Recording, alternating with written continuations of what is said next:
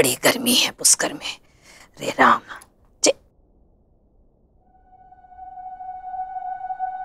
अरे। जी। हाँ जे रुमाल तो उस छोटू का है। हमारे पास ही रह गया।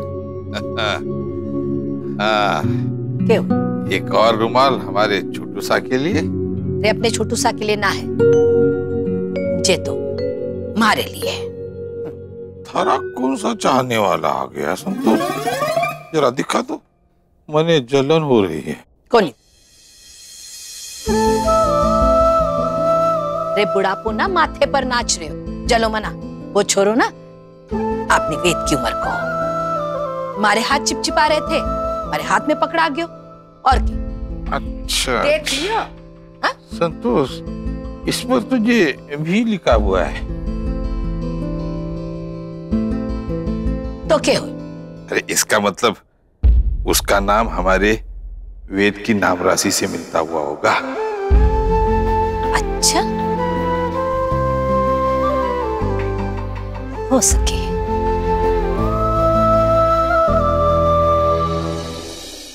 ये लो आपका हॉल टिकट।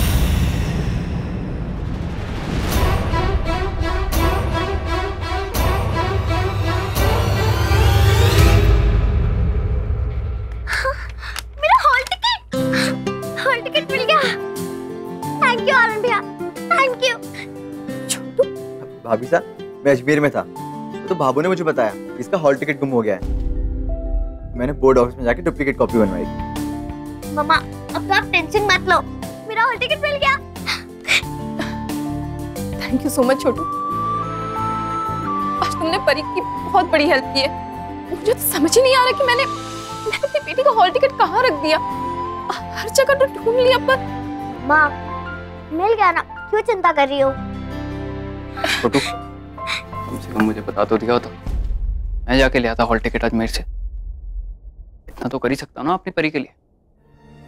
अगर आप मेरे लिए हॉल टिकट लाते ना तो मैं एग्ज़ाम देने जाती ही नहीं। आर्यन भैया मुझसे सच्चा प्यार करती इसलिए उन्हें कहने की ज़रूरत ही नहीं पड़ती। इनफैक्ट इस घर का हर मेंबर मुझे आपसे ज़्यादा केयर करता है।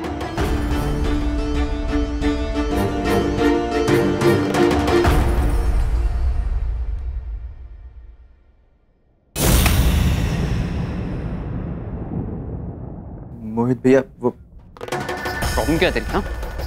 प्रॉब्लम क्या है तेरी?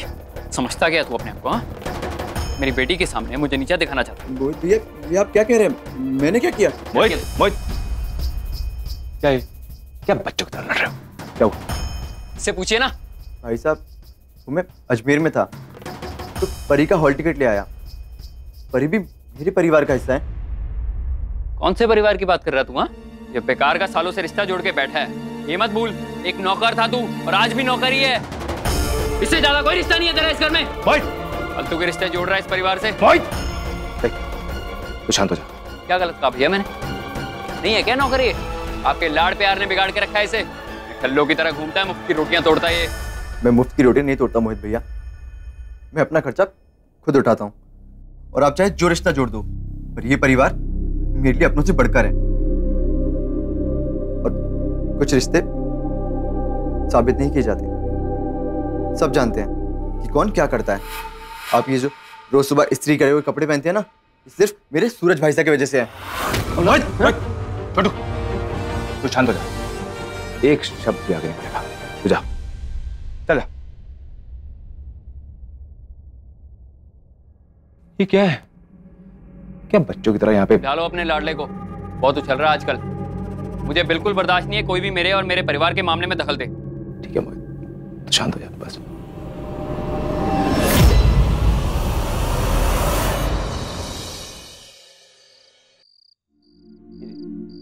आप परेशान मत होइए। आपके और आपके लाडले के बीच में जो भी समस्या है ना, वो बहुत जल्द दूर हो जाएगी। हाँ। अब देख लेना। सब ठीक हो जाएगा, पहले की तरह। सूरज जी, आपने मुझे कहा था ना कि बच्चों को हैंडल करना कोई बड़ी बात नहीं लेकिन मेरे लिए मेरे लिए बहुत मुश्किल है। मेरी मदद कीजिए ना। ओहो, नंदा जी, ये बहुत ही आसान सी चीज़ है। अब जैसे किसी इंसान को बड़ा होने में मदद की जा सकती है। लेकिन बच्चा बनने में नहीं। पहली बात तो ये है कि अगर हमें उनको समझाना है या फिर समझना है ना तो उनके साथ बच्चे बन जाओ। अभी जैसे मैं वेद के साथ एक ही टब में पैर डाल के बैठा हुआ था, वैसे। और दूसरी बात, ये जो छोटे मोटे झगड़े होते हैं, शिकायतें होती हैं, ये तो वहीं पे होता है ना जहाँ पे प्यार होता है, जहाँ पे उम्मीद होती है। बच्चों का दिल ना बड़ा साफ़ होता है। उनको हमेशा अपनी बात ना सीधे शब्द में बोलनी आती है, ना कि वो चाशनी में लपेट के लफ्जों का हेर फेर करके उनको बोलना आता है। हमें उनकी बात को गुस्सा नहीं करना चाहिए। ज़रूरत है तो सिर्फ़ और सिर्फ़ उनके कहे को, उनकी नाराज़गी को समझने की और उनके दिल की बात जानने की। अगर आप ऐसा करेंगे ना तो देख लेना। फिर आपको उनकी कहीं ना कहीं कोई भी बात इतनी बुरी नहीं लगेगी। अब ये ये मोहित की बात ले लो। मोहित और मैं बचपन से एक दूसरे के साथ बड़े हुए, हम भाई भाई हैं। लेकिन बहुत सारी चीज़ें ऐसी हैं जो मैं मोहित को आज भी बोल नहीं सकता। लेकिन परी परी बिना सोचे समझे, बिना किसी के डर के जो भी उसके मन की बात होती है, सीधा उसके मुँह पे बोल देती है। और कई बार ऐसे भी होता है कि बच्चों के कुछ सवालों का जवाब हमारे पास नहीं होता है। मोहित की बात से याद आया। मोहित और छोटू का झगड़ा हो गया। अब छोटू क्या? उससे होकर चला गया अपने दोस्त के घर पे। लेकिन मुझे पता है भागता भागता वापस आएगा और बोलेगा सॉरी मोहित भैया, मुझसे गलती होगी बड़ा हो गया है। लेकिन अगल अगल उसको अभी तक नहीं आई। बच्चे का बच्चा ही होगा आप परेशान ना हो। और वैसे भी आप कौन सी अकेली हैं? मैं हूँ ना आपके साथ।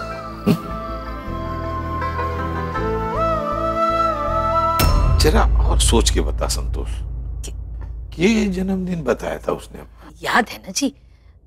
तीन दिन बाद का तो बताया था। नाम भी वैसे ही शुरू हो गए। जन्मदिन भी वही हाँ। और हाँ उस छोरी में ना मारे को संध्या बिननी की झलक दिखाई दे रही थी। क्या बात कर रही है? मारे को कह रही हो तुम कि। कचरा ना कचरा पेटी में डाले। अच्छा। अया को भाषण देगी हमारे को। ये बता वो दिखने में कैसा है? दिखने में तो एकदम मासूम सा चेहरा था उसको। बड़ी सलीके की बातें कर रहे हो तुम। अच्छा। और हाँ अंग्रेज़ी में किटर पिटर कर रहे हो तुम। कुछ बात तुम्हारे पल्ले ही ना पड़ी। फिर भी मैं तो बस यही सुनती जा रही थी। बहुत मीठो बोल रहे थे इतनी सारी बातें मिलना कोई संजोग ना हो गए संतोष। मने तो ऐसा लगे है कि कहीं वो हमारा वंश तो नहीं। तू कुछ भी बोल। संतोष मैं अभी सूरज संध्या बिन्नी ने बताकर आता हूँ। हाँ, अब कितने खुश होंगे वो। अरे छह साल से अपने छोरे का चेहरा ना देखा उन्होंने। अभी आता हूँ। रुको जी रुको। ना ना अजी अंकुर जी और अंकिता जी कठे रहे हैं। अपने पत्तों को नहीं। अगर वो हमारा वंश ना हुआ तो सूरज और संध्या बिन्नी में कितनी चोट लगेगी। यहाँ की छुट्टी उम्मीद ना जगाओ जी। थोड़ा रुक जाओ। ये भी ठीक है। एक काम करा। के? आपा ना वो वहीं जाकर उस छोरे को पतो निकाल लिया। फिर उसके घर चले जाओ। ये तूने बिल्कुल सही कहा संतोष। जो वो हमारा वंश होगा तो समझ? ठाकुर जी की कृपा हो गई हम पर। सुनो जी अगर वो सच ही आपने वंश हुए हो ना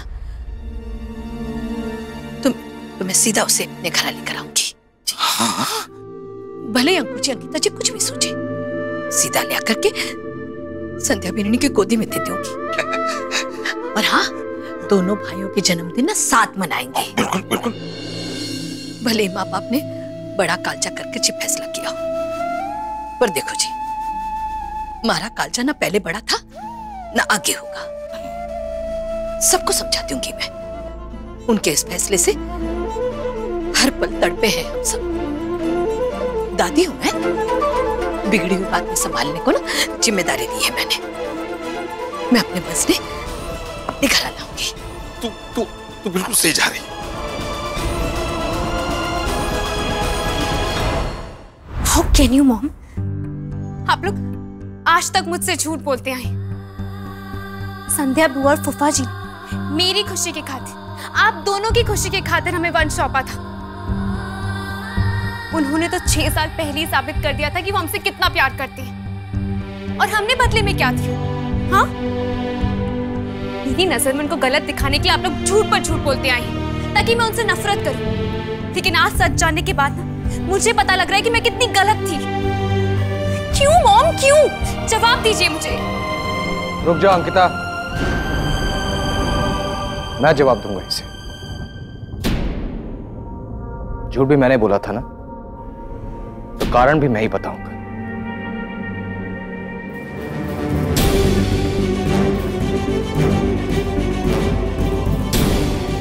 हाँ। मैंने झूठ बोले थे संध्या बुआ के बारे में। और मैंने ही तुम्हारी कोई भी चिट्ठी संध्या तक नहीं पहुँचने दी। अरे क्यों पापा? कोई अपनी बहन के साथ ऐसा करता है? मैं तो वंश के साथ ऐसे करने के बारे में सोच भी नहीं सकती।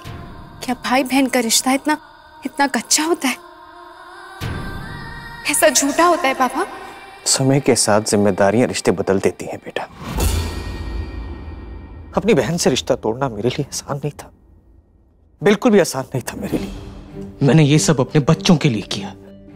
तुम्हारे लिए किया बुलबुल। वंश के लिए किया। जब वंश किडनैप हुआ था तो तुम्हारी तबीयत बहुत बिगड़ गई थी। और एक तरफ़ तू थी जिसकी जान जो है वो वंश में अटकी हुई थी। और दूसरी तरफ़ वो रानी परिवार, जो उस वक्त भी उसे अपने परिवार का हिस्सा मान रहा था।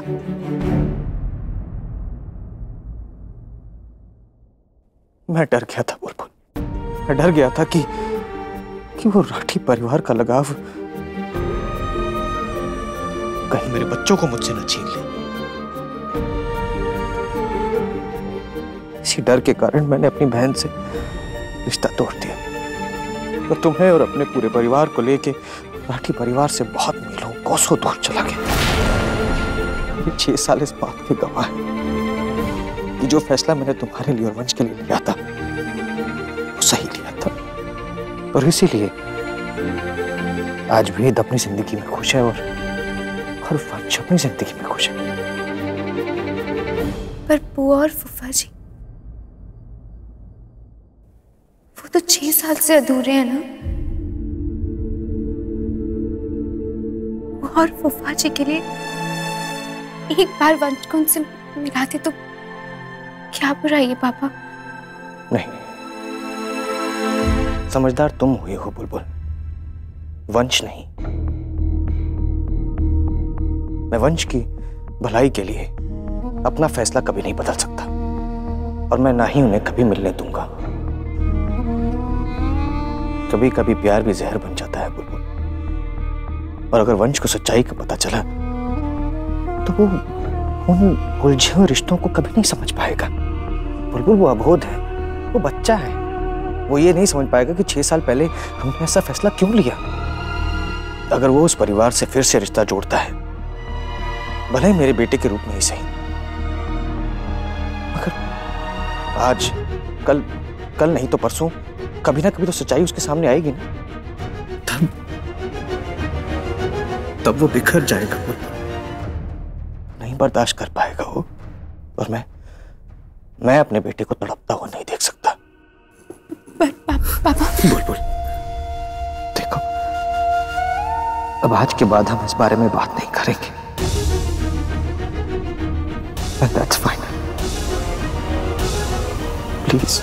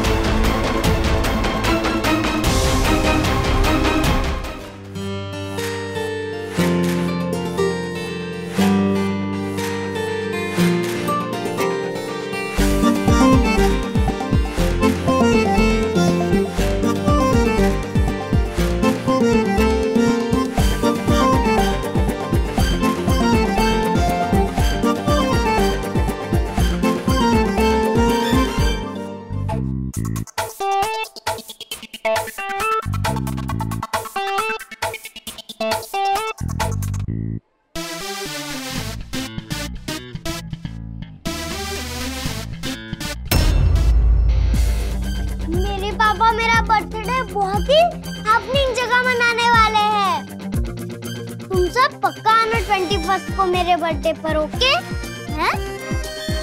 वंश और मेरा बर्थडे सेम दोनों भाई भाई तो नहीं हो? चुप।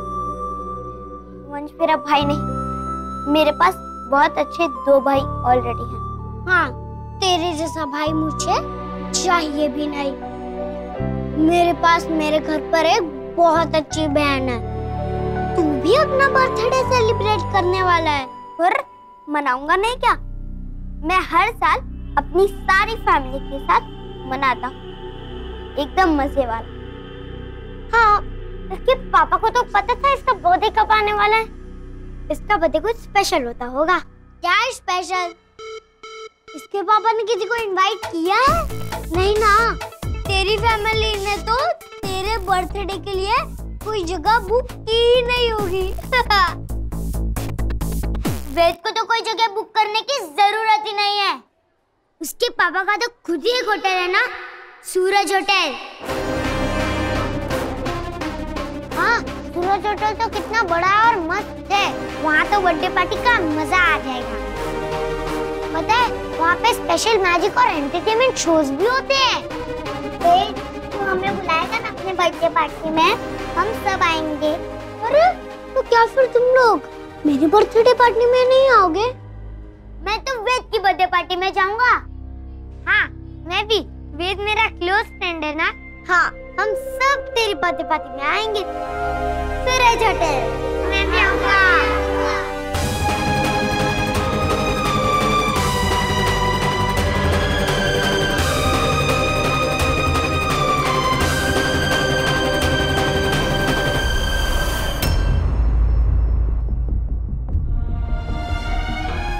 पापा ने आपको आईपीएस ऑफिसर बनाया।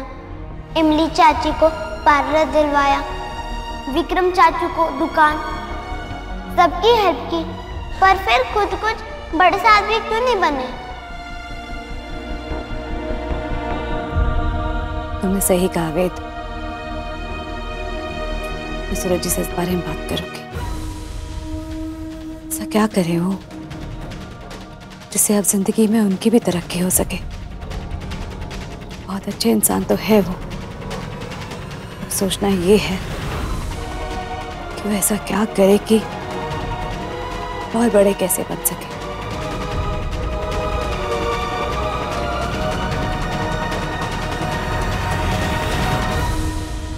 हो दिया और बाती हम। आपके मनोरंजन पर अब नहीं लगेगा कोई ब्रेक। स्टार प्लस के बेहतरीन शोज़ देखने के लिए लाइक शेयर और सब्सक्राइब करें स्टार प्लस यूट्यूब पेज को।